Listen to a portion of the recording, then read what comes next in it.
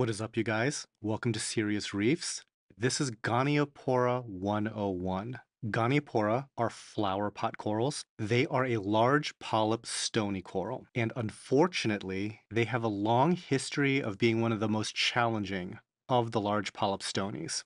Part of the reason for this is there are so many different species of Goniopora. Some have larger polyps than others. Some of the smaller polyped versions of the Goniopora sometimes get classified as Bernardopora by the hobby. But there's a really good likelihood that those are actually a variety of Goniopora. Many of the most popular species that are in the industry right now tend to be on the slightly easier end of the spectrum, so people are having much more success with them these days.